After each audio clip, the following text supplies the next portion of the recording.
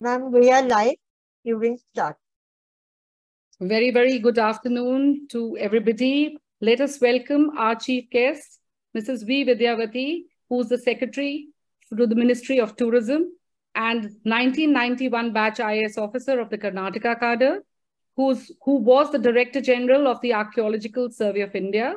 And she has been promoting India as a tourist destination for domestic and global markets by working with different stakeholders as well as driving the development of the country's tourism industry. Uh, she has been working with the G20 events very vigorously. Ma'am, it is our pleasure to have you with us. Let me also introduce you to the guest of honor, Mr. David Pasquini, commercial officer in Mumbai of the US Commercial Service since April 2022, master in strategy building for UK's investment and trade promotion for the USA in aerospace, space, and defense services. Prior based in San Diego, California as the UK consul with DIT, he's fluent in Italian, Spanish, and Portuguese. Uh, we, of course, have with us Mr. Manav Thadani, founder and chairman, Hotelivate, serial entrepreneur, trusted advisor, restaurateur, philomenist, and passionate hotelier. Uh, he brought HPS to India and runs various conferences. Uh, we have Mrs. Radha Bhatia with us. Chairperson Bird Group with 52 years of exemplary career, along with her husband and sons have played a phenomenal role to expand across various verticals, force behind the Bird Academy, founder member of the World Travel and Tourism Council India, and the first Indian woman to be honorary consul of Solomon. We have Mr. Vipin Vohra, who's chairperson for Continental Carriers Group and chairman TNX Group. He's known for his innumerable trend-setting advancements in his 45 years of career in the freight and the cargo industry. Mr. Rajan Bahadur, CEO Tourism and Hospitality Skill Council, Ministry of Skill Development. He has 35 years of experience, strong leadership, bridging the gap in skill ecosystems, previously MD and CEO Care India, COO Unison Hotels, MD Leoblia Hotels, Regional Director of Starwood. With this, I have introduced our esteemed panel man, and may I request you to please uh, give your address to the panel. Um, thank you so much. Uh, it's an honor to, to be here. And uh, clearly from the introduction, I see that probably I'm the least experienced in the tourism sector compared to all you on the screen there. Uh, but having said that, um, I'm here to hear all of you, to listen to you, uh, understand and take back what we can do to develop uh, tourism uh, between and, and the entire sector uh, with the closest collaboration between uh, India and the United States. Um, at, at, the outset, I really want to give a big thanks to the Indo-American Chamber of Commerce for uh, for uh, asking me to be a part of this discussion. Um, you know, the, the fact that India, India and the USA's bilateral relations have reached a very, very critical point and a very exciting point and understatement. I mean, we've been seeing the kind of traction which uh, has come up after the our honorable minister visited the US quite recently and the kind of uh, support and the kind of regulated enthusiasm which has been found across sectors. And tourism certainly is going to benefit from this uh, partnership and from this uh, rejuvenated environment all around us. Uh, interestingly, during 2019, as I understand, USA uh, ranked first in tourism receipts, you know, and we were, you know, and third in tourist arrivals for India, we are the uh, USA is the biggest tourist market. We get around one and a half million tourists. We used to get one and a half million tourists before COVID 19 struck. But I think post fit, you know, the numbers have picked up and we are expected to reach the pre pandemic level by 2023. It's a very conservative estimate. We would want to go much beyond that. Uh, from, from my uh, little experience in tourism, what I understand that we do not have a formal uh, MO, you know, memorandum of understanding with the US, but we do have a cooperation in various areas, you know, under the commercial track of the strategic and cover dialogue uh, since 2016. Um, ladies and gentlemen, it is uh, it needs no reiteration that you know tourism is a very very important vehicle to to promote people to people contacts and to promote understanding between uh, the countries. Um, I, I really am happy to place before you the, the discussion we had in the recent concluded G20 Ministerial of Tourism in Goa, the, in which USA also was is one of the G20 partners. Uh, the Goa roadmap, which is now a public document, uh, the G20 roadmap for tourism track, it talks about five major pillars. And I think the, all the five major pillars are those on which both India and USA can work together, starting from uh, green tourism, supporting tourism MSMEs, skilling, digitalization, and finally destination management. And I think we could probably use this framework to further our cooperation between the two, uh, two, two countries. Um, our Honorable Prime Minister had also launched the Mission for Life, and we are very, very happy to say that this has also been adopted as one of the main key points of the Goa roadmap, which has come out after the Goa 20 Goa um, you know, tourism ministerial meeting. We attach great importance to implementing the UN 20 SDGs. And again, the, the, uh, the idea is that every every uh, vertical we work with the US, you know, we really want to ensure that these pillars are taken care of so that whatever we do is not only enriching both the countries, but also actually shows the world that this is the way we could do things. Um, I a lot of things to say, but I said I'm not going to talk much because sometimes bureaucrats like to listen to their own voices, but here I want to listen to all of you because all of you come with a lot of experience. But I certainly want to say that there are three or four major areas in which we would like to work with the United States you know, with the entire ecosystem. One is on, you know, one being how do we consider exchanging lessons in destination management? I mean, how do we actually approach the entire concept of destination management? Is there something I learned from the US? Is there something we can share our experiences with the US and can we work together in this area? Uh, the second is uh, in sort of academic collaboration. We have uh, 40 institutes of hotel management and 14 food craft institutes in India. So is there something we do in this area to work with the hotel and the, the entire hotel industry, both government in India, as well as the industry in the US? Can we work together in this sector? Uh, third, of course, is the tourism ecosystem itself. In, in what I mean is the tour operators, travel agents, how do we bring them into, into, into a composite kind of an, uh, you know, a very healthy and sustainable uh, tourism development system. I mean, so that the, the operators and, and all of us, we don't work at cross purposes. All of us are moving to one goal of promoting accessible tourism across both geographies. Um, last but not the least, uh, you know, we, I think there's a, there's a lot of work which has happened, especially in the United States in terms of uh, data you know, how do we actually gather data? What kind of research goes into it? What kind of market analytics goes into this? How do you mine the data? How do you actually use the data? I mean, these are some things I would really uh, like to work with the our industry, but also like to work with the industry uh, in the United States. Uh, I just want to wind up on one saying that uh, in September, uh, hopefully, the, the dates are still not clear, uh, but we should be having a firm date shortly.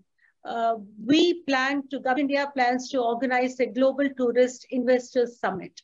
And this is the forum where we expect a lot of discussions to happen, a lot of uh, very productive discussions leading to tangible outcomes we expect in this uh, summit.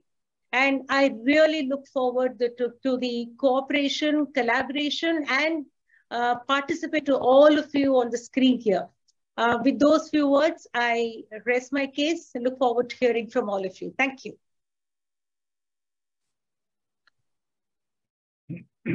Thank you very much, ma'am, for elaborating and uh, guiding us on through the five pillars which have been time for through G20. And of course, the key points have been well taken. And we rest assure you that in the month of September for the summit, at least this panel would be working uh, shoulder to shoulder and um, uh, hand in hand for the uh, particular event. And uh, with this, uh, can I request uh, Madam Radha Bhatia to please tell us and give us a scenario, a bird's eye view of the tourism scenario, ma'am.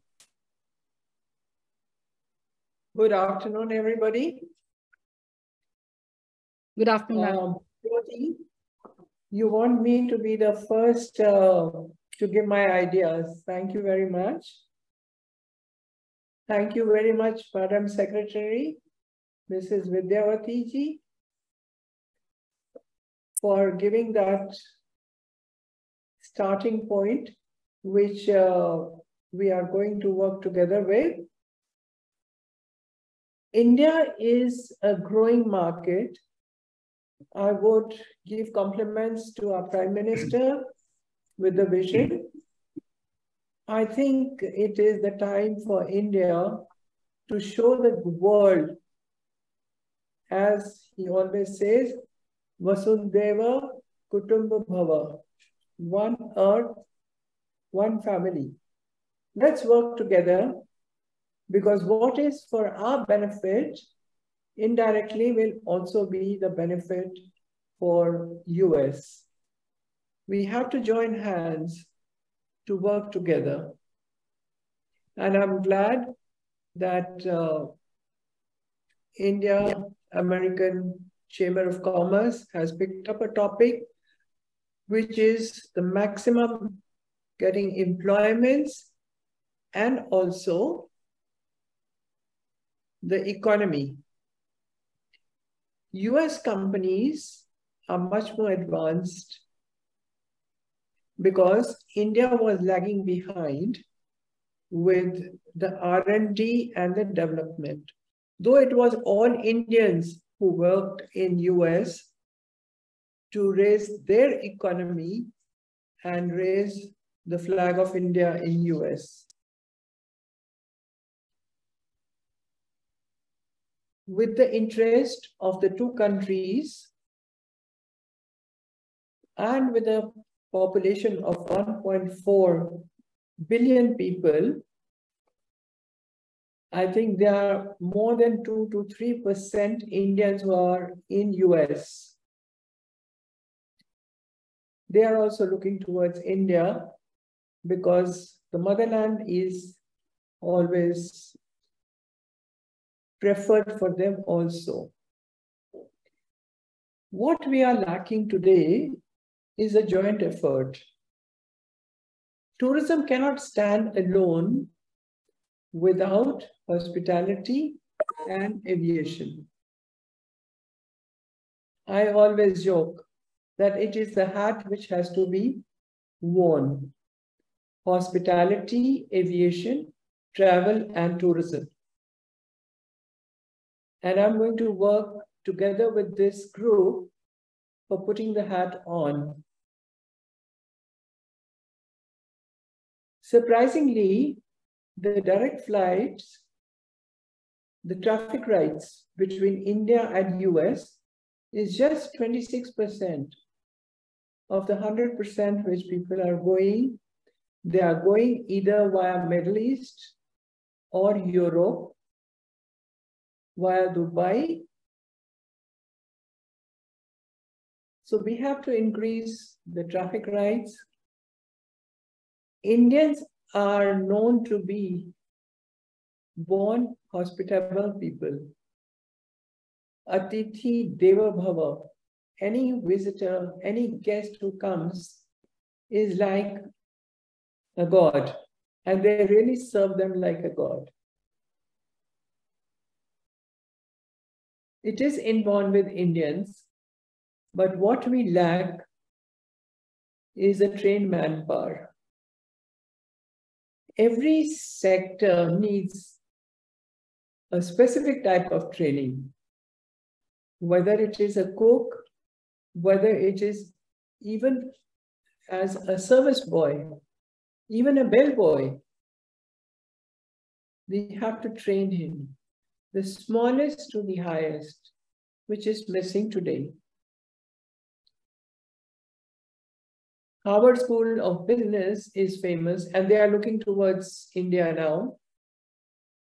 All the universities in Europe are looking towards India now because India has 65% of population, which is less than 45 years. And we could be the manpower supplier to the global world. I have been talking to many foreign delegates and foreign missions. Everybody is feeling the glitch that the trained manpower is not there. First of all, the manpower is not there. Even if the manpower is there, the trainings are not there. So most important, soft skill training, how to deal with people, and also the emotional trainings.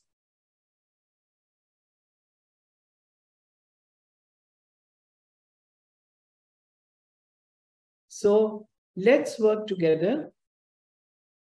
Let's put the hat on to us. I would request IACC to bring onto this platform the aviation, travel tourism, and of course, the cultural ministry also.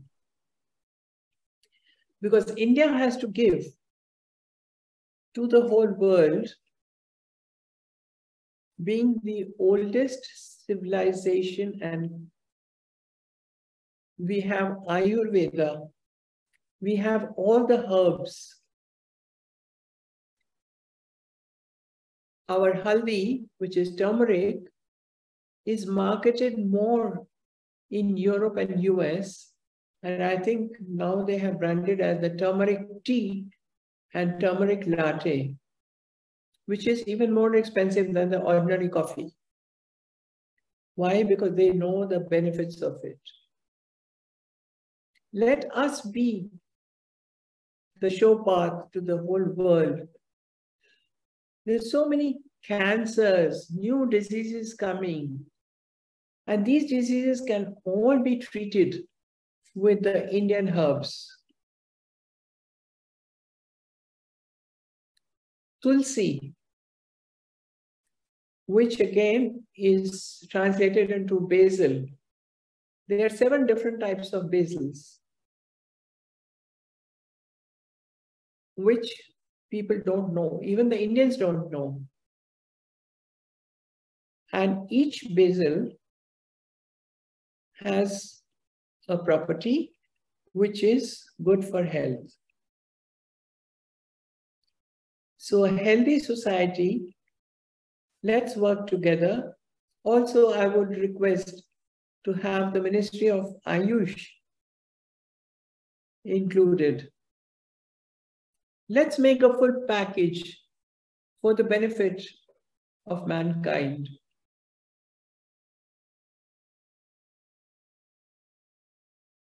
I think if there are any questions, I'm there to answer. Thank you. Thank you so much, ma'am, for giving us such elaboration and uh, telling us about the integration, which is a very, very vital portion of all the ministries coming together as one strength. As I said, one step is 100 steps.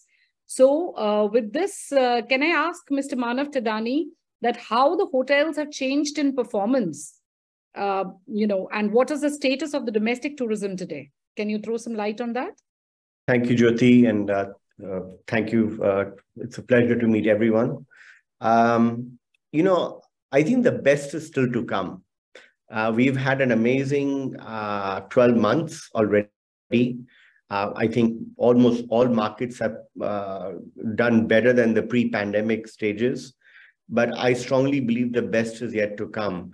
Um, domestic, and it's all being led by the domestic tourism, and that's very important to understand that while uh, even the secretary uh, mentioned that the numbers of arrivals has gone down, uh, but that hasn't stopped hotels uh, doing extremely well because it's the domestic tourism that is fueling everything. So Um, you know, particularly the domestic leisure locations are doing extremely well. And, and these leisure locations that used to do maybe 40, 45% occupancy today are doing 60, 65% occupancy. I was just in Kashmir last week and uh, they've never seen such numbers. And it's great to see a tourism uh, state like Kashmir uh, get that kind of a response from the domestic market. Uh, but, you know, this is an Indo-US uh, Services Summit, and I want to kind of uh, put some focus on that.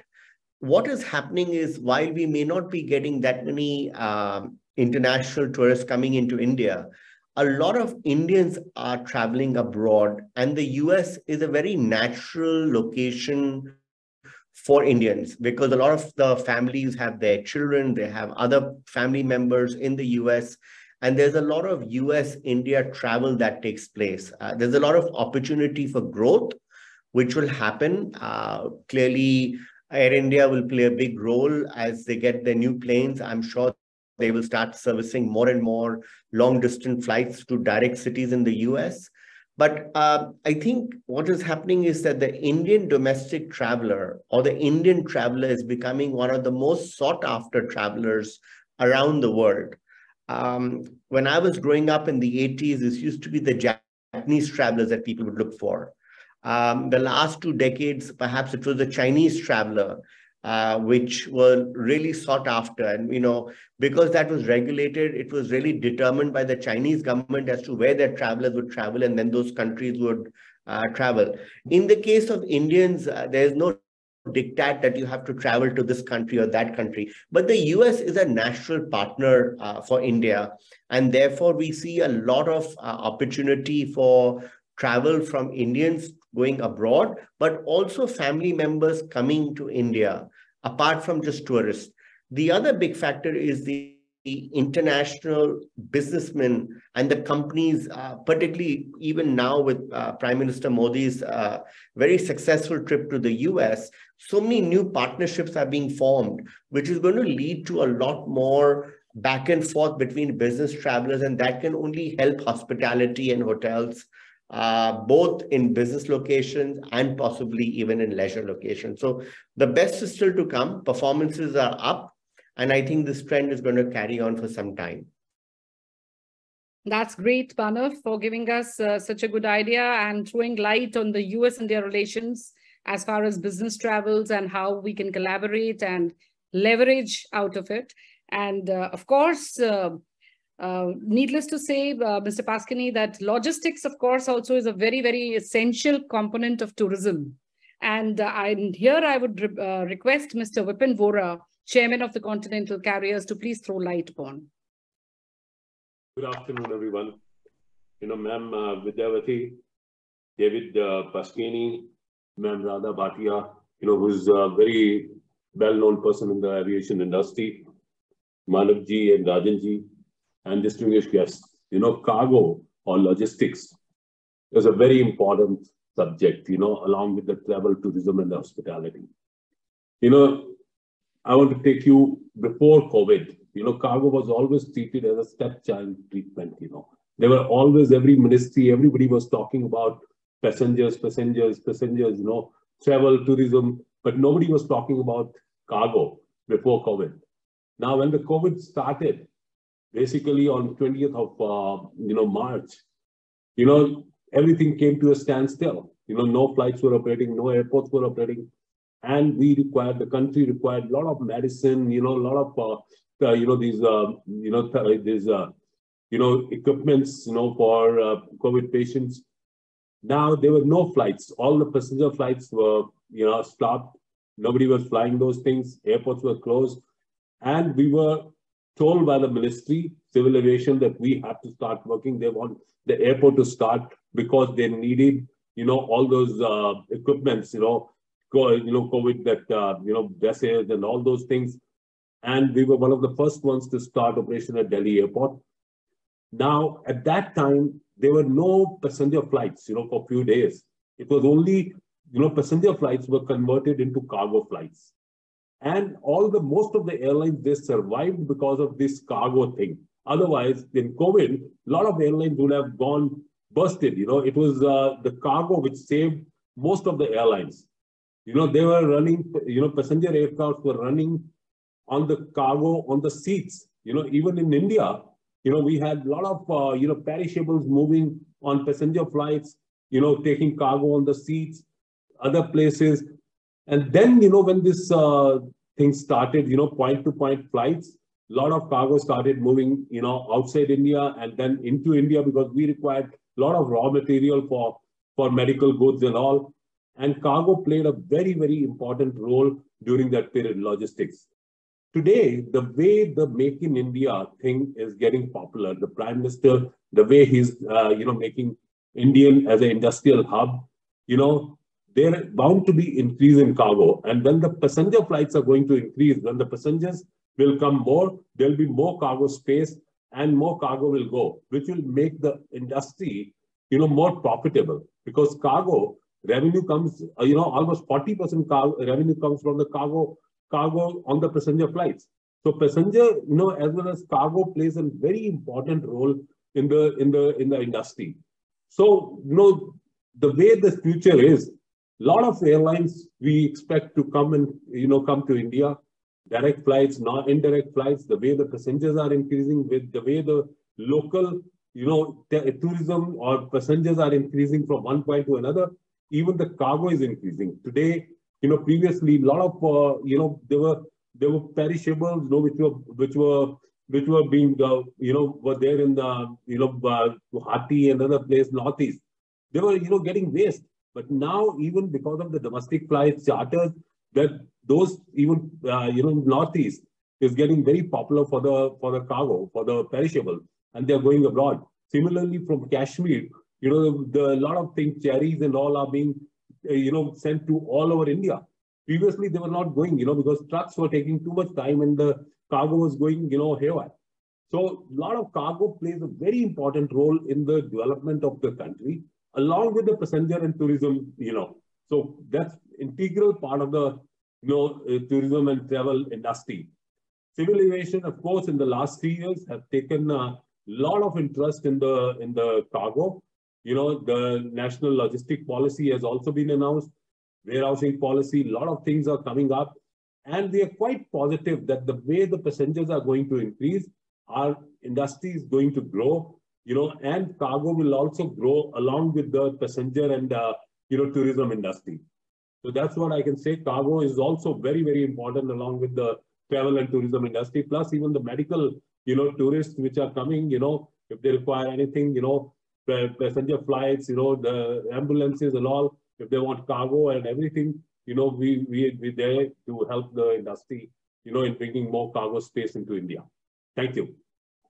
Thank you. Thank you so much for giving us all this perspective. And I really appreciate. Yes, it is true that during COVID times, most of the passenger flights had turned for cargo and all this did happen uh, uh, through a few examples known to me as well. Uh, all said and done, as one of the very important points where, which uh, Madam Radha had also made was about manpower. So can I uh, request Mr. Rajan to please throw some light as to what post-COVID do you see tourism as? Your mute, please. Unmute yourself, please. Yeah. Am I audible? Yeah. yeah. Thank you, Jyoti, and thank you, IACC. I'm very excited to be part of this panel. We heard Madam Secretary, my fellow speakers, talk about it. Uh, before getting into the post-COVID thing, very briefly about, you know, pre-COVID, particularly our sector, the tourism and hospitality sector, was booming. Uh, globally, one out of 11 jobs were, uh, you know, from the sector. Um, I think in India, we contributed hugely towards the GDP. We were the third largest foreign exchange earner. Everything was going gungo. And then the COVID struck us, and nobody in the wildest of dreams ever imagined that the, nearly the entire world would come to a standstill for close to 18 months, if not 24 months. So that was very unprecedented. However, having said that, with any disruption and the optimistic person that I am, I think there are a lot of opportunities. So, you know, we always heard about the uh, look at the goalpost and shoot for the goal. But what do you do during COVID when the goalposts were changing every hour? So the new mantra became, um, you know, there was this thing of survival of the fittest, which actually went out of the window. It became survival of the quickest. So whoever adapted quickly to the situation survived. I think fast forwarding it to post COVID, I do agree with Manav who says that the best is yet to come. Absolutely. I mean, you're seeing green shoots, you're seeing things happening, uh, the industry coming back on track very quickly, uh, and the best is yet to come. The concern is with the best yet to come, how do we feed that with manpower? I mean, I'm sitting here in Colombo talking in the Thai convention, you're talking about uh, you know, between Air India and Indigo, nearly under 1,000 flights, uh, aircraft have been ordered, which is all very great. New, new hotel chains are coming up and so on and so forth. And that's great because that's not about an individual organization, that's the India story. But at the same time, we need manpower to service all of this. At THSC, uh, the Tourism and Hospitality Skill Council, we work with close to about 2,500 industry partners. And we actually work with them on various qualifications. Post-COVID, as you all are aware, that a lot of qualifications have changed. The way we do business, a uh, lot of uh, jobs have become redundant, new jobs have come up. So for example, out of the 80 qualifications that we have currently, we have added out of that 20 a new qualification, which is all focused towards adventure tourism, domestic being very important. So I, I can talk a lot about this over and over, but as the Secretary Madam also says, there are, we work with, because this is to do with the US, we work with a lot of US companies, be it Radisson or Marriott or KFC or Hilton Hotels and so on and so forth, including facility management company like GLS where we collaborate and train and skill manpower. I mean, there are lots of opportunities between India and the US, whether it's the exchange program, whether it's apprenticeship, whether it's master trainers, whether it is collaboration on startups, which we can do. But to my mind, I think this is a great space to be in. This is a place where manpower will play a critical role. As well, Bharti also mentioned that, you know, over uh, over 65% uh, of our population is below the age of 40, 45. And uh, that's a sweet spot to be in. But how do we skill them? How do we make them ready for employment? And how do we make sure that we don't only just skill them, but also ensure that they get placed in respectable jobs, whether in India or overseas in the US. And these tourism is one which can be become very aspirational you know. It's not about housekeeping or a shoe sous chef or uh, or you know front office. It's about how do you grow. Extremely proud to say that as an indian today you find globally a lot of indians particularly in the hospitality sector who are doing exceedingly well. So there is a scope there is a scope to bringing in that knowledge along with uh, uh, with our partners in the us just to give you a very small example, at Tourism and Hospitality Skill Council, we have just signed a knowledge sharing agreement with the American Hotel and Lodging Educational Institute, which as a lot of you may be knowing is a recognized globally a prominent leader in the certification and academic publication. Now, can you imagine that students here who are studying, who have been skilled across 600 of our training centers at THSC throughout India. Some of them get certified by AHLEI. And that is the value that we can add along with the US. I'm not even talking about you know, academics and exchange program, but I'll hold here because extremely passionate and we can go on and on, but I'll hold here for a moment. Thank you. Thank you. Thank you. That was really, really descriptive. Yes, certifications and qualifications are a very, very imperative portion and a part of uh, tourism. Coming to the all the statistics, what we've been speaking about, US is ranked number one in the receipts as US dollar 214.1 billion by 2019. And we are expecting by 2028 that India's GDP is expected to grow to US dollar 512 billion. But in comparison to US, of course, we have yet a lot of steps to be taken. So on this, uh, I would request uh, Mr. David Pasquini to please comment that as Secretary Ma'am had mentioned, the data collection is one of the very, very important factors which we need to really work upon and take guidance from US. Please, can you kindly throw light on this? Thank you. Thank you so much. Uh, thank you for the introduction. Thank you for having me here today. Um, Madam Radha has uh, sparked my curiosity. I didn't know there were so many kinds of basil. I love basil, so now I'm going to be looking for those other uh, basil kinds here next time I go to the market. So thank you. Uh, thank you again. I'm honored to be a part of this uh, third Indo-US Services Summit uh, organized by the Indo-American Chamber of Commerce, the IACC. Thank you again. Um, my name is David Pasquini. I'm a commercial officer. I'm based here in Mumbai. Uh, we're currently very rainy uh, under a lot of monsoon, uh, and it's but it's good to be here.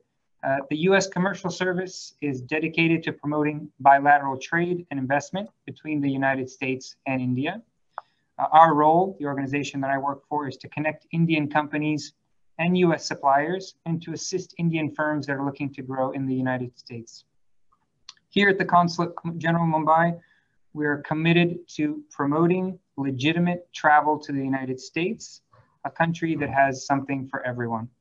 So from the vast beauty of our national parks, our mountains, our deserts, our forests, we have it all, to the historic and diverse sites that tell the story of our people and our culture, the United States offers destinations for international travelers like no other.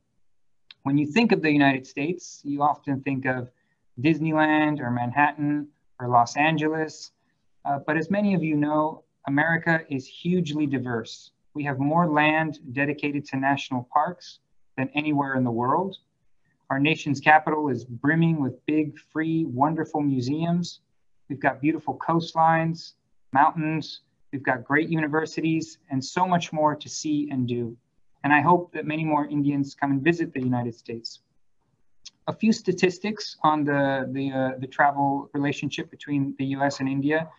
India represents one of the fastest growing outbound travel markets in the world. In 2021 alone, over 400,000 Indians visited the United States.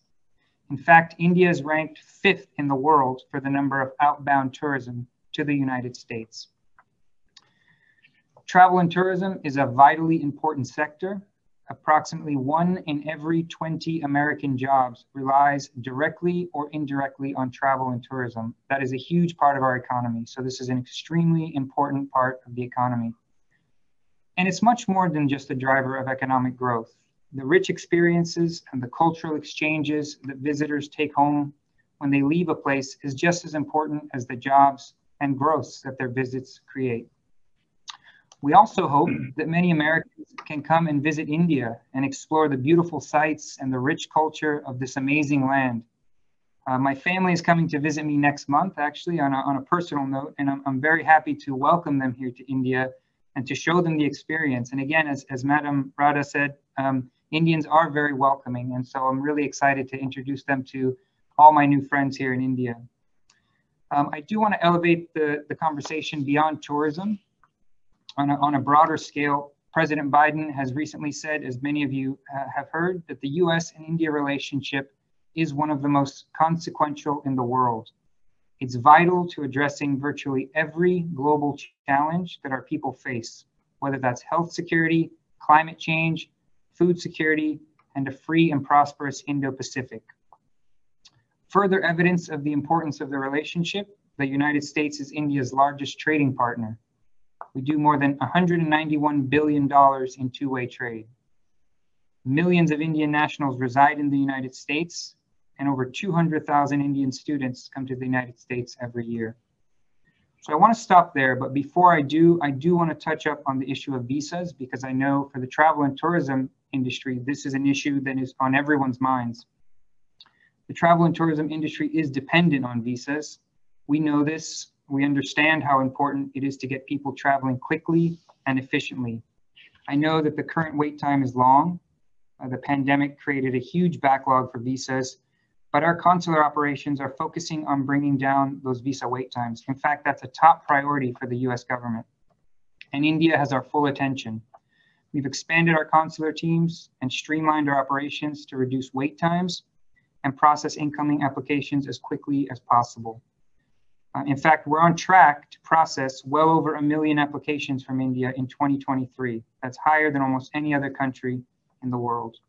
So I'll stop there on that note. Um, I do want to say that we, we do remain committed, uh, the US government is committed to this industry, the travel and tourism industry, and to ensuring that a whole new generation of adventurers, entrepreneurs, scholars can experience the wonders of travel and tourism. I have made a few notes here, um, from particularly from the, uh, the remarks from Madam Secretary on, I completely agree, exchanging views on destination management, very important. Academic collaborations and skilling, this is an area absolutely where we can work together. Developing tourism ecosystems, and, and just that knowledge exchange that the Madam Secretary mentioned. I think those are all things that are, are key and that I will work with my team here on, on working on developing those connections. So I'll stop there. Again, I thank you very much for the opportunity and, um, and thank you again. Thank you so much, uh, David. But yes, we would definitely look forward to continuing after the web uh, webinar as well to discuss these various pillars and the various uh, points on which we're going to be working together and especially, especially data collection because US in the services data is excellent as we understand. And of course, uh, with this, I uh, welcome from the Ministry of Tourism, our Director Tourism. Sir, uh, would you like to please throw light about the GDP, uh, India's GDP in tourism sector, sir? Uh, as per our revised strategy, because we consider tourism as one among the three T's that can uh, in, our GDP engine. So it includes tourism, trade, and technology. So the uh, the way which we can utilize tourism to making our relationships strong and also to create employment and other aspects to our GDP, it's immense. So that is the area where we have to focus on. And from our point of view, our partnership or India and US can do uh, a great wonders in this particular sector and in the way how we can invigorate the GDP of India. Thank you, sir. Thank you so much. Now, with the creation of, of course, 53 million plus jobs by 2029, what we're anticipating in tourism. Uh, Manav, could you please uh, let us know if there are some new projects and investments which are being expected between India and US currently in tourism? So I think uh, there are a lot of new hotel projects that are coming up. Uh, what is interesting is that these in the last decade, the focus was on major cities, you know, Delhi, Bombay, Bangalore, Chennai. Uh, increasingly, you're seeing a lot more new supply coming into the tertiary locations, uh, smaller cities, and also a lot of uh, leisure locations. So I mentioned I, I was in Kashmir last week. Uh, obviously, that's a new growing destination. Uh, we're doing a lot of work in the Northeast. You know, this is a completely virgin territory for tourism, uh, both domestic and international. Um, and one of my clients uh, said, you know, sir, there's so much road activity going on. Just wait till the uh, eastern corridor opens. And he's talking about the road that is being uh, potentially talked, which will take you from Delhi to all the way to Bangkok through Myanmar. You know, once those transportation links come up, uh, it is quite obvious that there will be more and more hotels that are built around uh, these, new roads and so forth, which means that um, our projection is in the next seven to eight years, we will double the number of existing branded hotel supply that is already in India. And we are at around 140,000 rooms. Uh, we think that this can actually go up to 200 by the end of the decade uh, that we are currently in. So therefore, that means that many more jobs which will be required um, and a huge opportunity for employment. And of course, for people like Rajan to skill them uh, so that the hotel industry can be continue to be well serviced. Thank you. Thank you. That was very well uh, taken and uh, very well uh, answered, of course. And we would like definitely, uh, Mr. Vohra, you to please tell us the road ahead as far as logistics and tourism is concerned. Are there some take, uh, would you like to put on some matrix wherein we need some points to be discussed with the Ministry of Tourism and which are the wants as on date to come at, if not equal, of course, at a little par playing level with US and specifically in connection with US? See, basically, you know, the cargo logistics plays very important role, as I explained. You know, if we have more and more flights coming into India from US to India direct, you know, a lot of cargo will start flying on those carriers rather than, you know, via Middle East or European carriers, you know. Today, most of the cargo is being, you know, carried away by these uh, Middle East carriers via Dubai or Qatar Airways, you know, via Qatar and other places. Now we need more and more freighters, you know, more and more passenger flights which can come to India and take more cargo. This will really help the industry to grow. And plus, you know, a lot of uh, American airlines, you know, more and more American airlines to come to India for, you know, we have, of course, interest in cargo, you know, but uh, it will, you know, help the passenger, you know, if the passengers grow, cargo will automatically grow. It's a part and parcel of the same, uh, you know, same aircraft can carry both the things. So cargo will definitely increase and this will give boost to, you know, cargo as well as passengers. That's what I can say. Thank you so much on that. Of course, uh, ma'am, I would like uh, to come back to you as the Honorable Secretary mentioned about educational tie-ups are required to bring up educational tourism. You running a bird academy, I would uh, request you to kindly please suggest how could we march forward in collaborating with US to build our academic uh, MOUs and uh, other curriculums. Ma'am, you have to unmute yourself.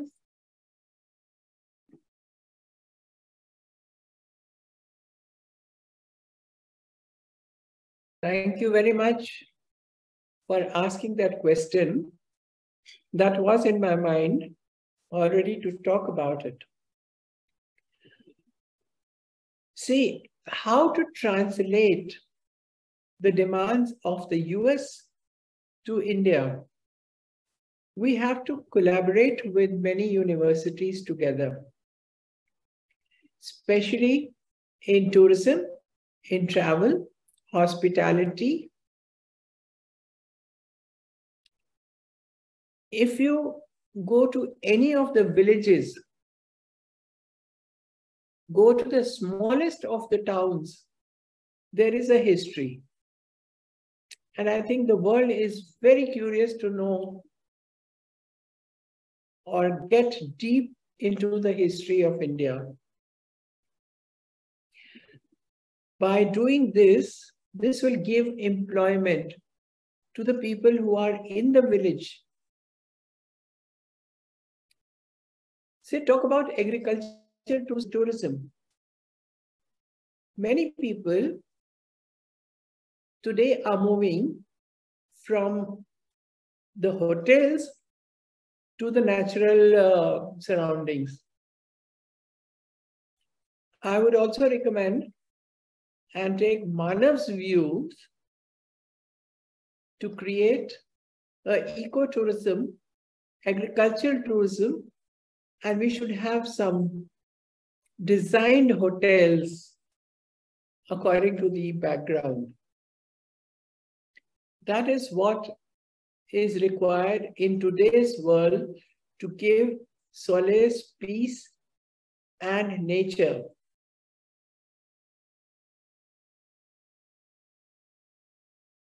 To every individual, whether it's Indian or we have to work together on that. Thank you. Thank you so much on that, ma'am. And uh, coming back to Mr. David Pasquini, when we are talking about identifying common uh, destinations. Uh, would, would there, I think collaborations like you have Universal Studios in the US, if those kind of things could be replicated to India, a lot could grow uh, both ways. And of course, uh, Ministry of Tourism uh, can take a lead to get this uh, done, maybe starting from the film cities, etc. And definitely, ma'am, as you said, the collaboration of many universities is required, not only for travel and tourism and for skilling, but also in the medical tourism field. There can be a lot of exchange programs for doctors, for nurses, for technicians, both ways in between US and India. And we can, this, this way it can build up the medical tourism too. Of course, there are different types, nine types, the eco-tourism, the adventure tourism, all can be worked on uh, together. With this, I would like also, uh, Mr. Rajan, if you could please tell us if there is, you see any demand and supply gap as of now for the man force required, because we are anticipating by 2029, 53 million jobs will be created, as Manav also mentioned and commented on it. Uh, what, what would you say about the current situation on the demand and supply gap? Yeah, I mean, that's a terrific question because, you know, as I mentioned in my earlier talk, that the biggest concern is how to uh, funnel this demand. I mean, currently, when we talk and we do our internal studies we have done, where I'm saying that while we may be skilling about a lakh and 25,000 youth every year, the demand is about 4 lakh plus. We are, as we talked just now, we are doing a very extensive district-wise study across India, uh, across every state to ensure to funnel out what the demand is. Because post-COVID, as I mentioned, demand is also changing. So that is a big concern. But I just want to deliberate for a moment on the fact that, you know, when when we talking about collaboration with the Radisson or the Marriott or the KFCs and the McDonald's of the world, uh, our standards that we make out here are global standards and they can be used globally. However, I think to take this to the next step, we need to do some, some stuff critically along with the US government. For example, when we're talking about a skill exchange program, we spoke about it, Secretary Madam spoke about it, David spoke about it also. I think this is something that we need to move on quickly. India Academia Partnership. I, I spoke about our um, uh, MOU with the American Hotel and Lodging Education. Ms. Bhatia spoke about the fact that, you know, with university. At THSC, apart from the 600 training centers, we have tied up with 100 universities and colleges in India, which are running the tourism and hospitality skill program. Technology and innovation is another thing that we need to be looking at, where collaboration and skilling can leverage the advancement in technology and digital learning, which is becoming extremely, extremely critical in today's scenario. Couple of quick ones more on, this is internship and apprenticeship program because this then become aspirational. People get a chance to go overseas, have a look, or their uh, apprentices coming here. Entrepreneurship and startup is another area that we need to be looking at where Collaboration and skilling can also focus on fostering entrepreneurship and supporting startup ecosystem because there are a lot of startups happening. And I think that's something that we can collaborate with the US a lot.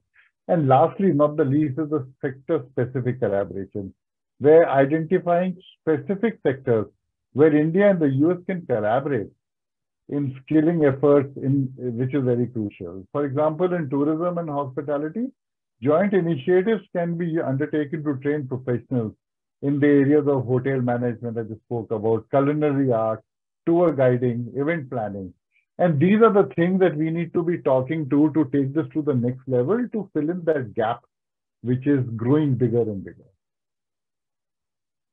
Absolutely. That is a great uh, message which you have given. I think we have taken note of that as well. And of course, Mr. David Pasquini, I would last but not the least ask you that what kind of US investments are you uh, foreseeing with India in the tourism sector, with respect to aviation, defense, which are the prominent sectors which you've been working for prior when you were with the DIT and uh, for UK into the US uh, market. So today, when we are sitting in India, how do you foresee those kind of investments coming into India?